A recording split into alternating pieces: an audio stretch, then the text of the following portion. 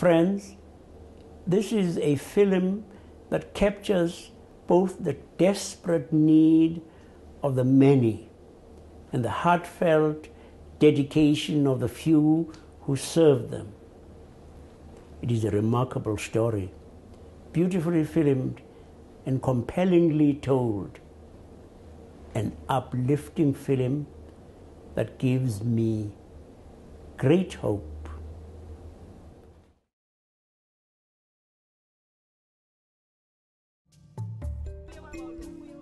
The train is operated by Transnet, South Africa's national railway, with additional funding coming from public and private donors.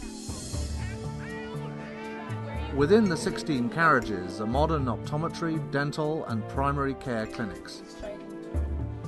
With a kitchen, staff accommodations, and even a pharmacy, the train is totally self contained.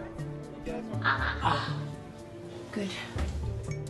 The health clinic deals with everything from sexually transmitted diseases and pap smears to teaching patients about cancer and regular self examination.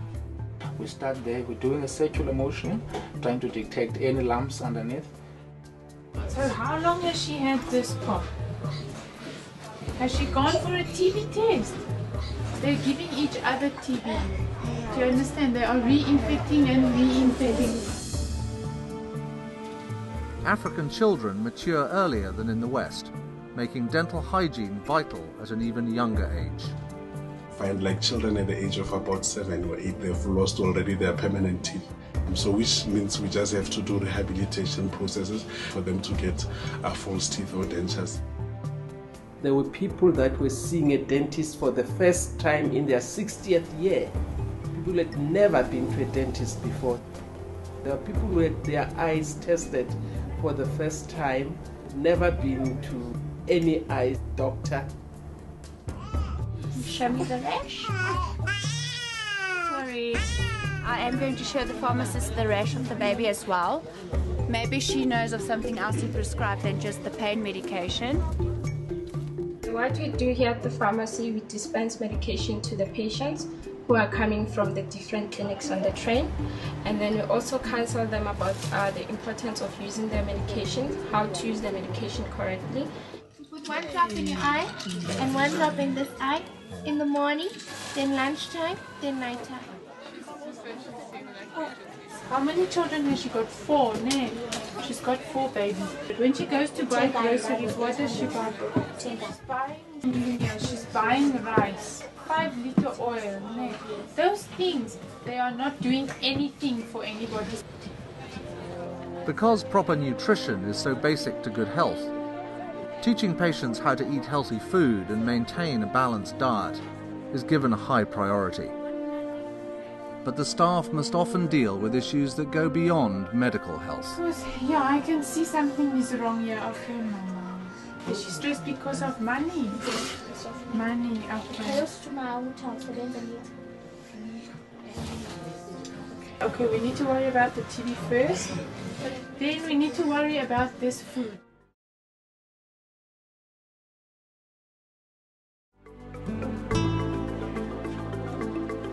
Back on board, classes are also offered to local residents who are trained to be good health ambassadors in their own communities. To get a lady cough. you, that is bad. So, in other words, when you sneeze, when you cough, you need to cough on your handkerchief or on your. One tatala, one begala, na one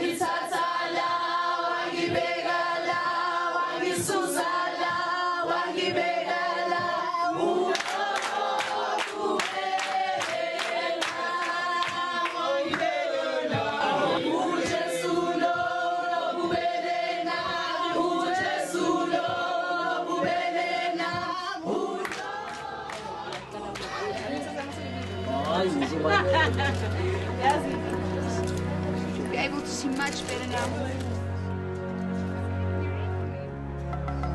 With the train, uh, I love it so much because it helps the communities throughout South Africa. More especially, it helps the the rural areas and the most disadvantaged areas.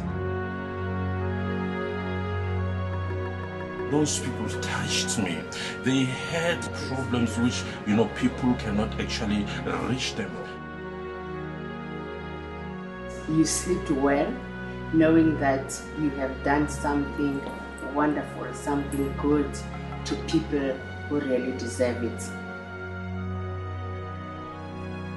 The dedication of the staff and the students and everybody on Phelophepa was also something to behold and very inspiring. When you see the smiles of those people and what you have given to them, having changed their lives, it makes you feel so good. You feel like getting up again the following morning and doing the same thing for the next group that will be coming. Although the train must move on, its lasting legacy is education. With this knowledge comes empowerment, and for the millions of people touched by Phelophepa, it has been a gift more valuable than gold. For them, the ministrations of the Sangoma will no longer be their only hope.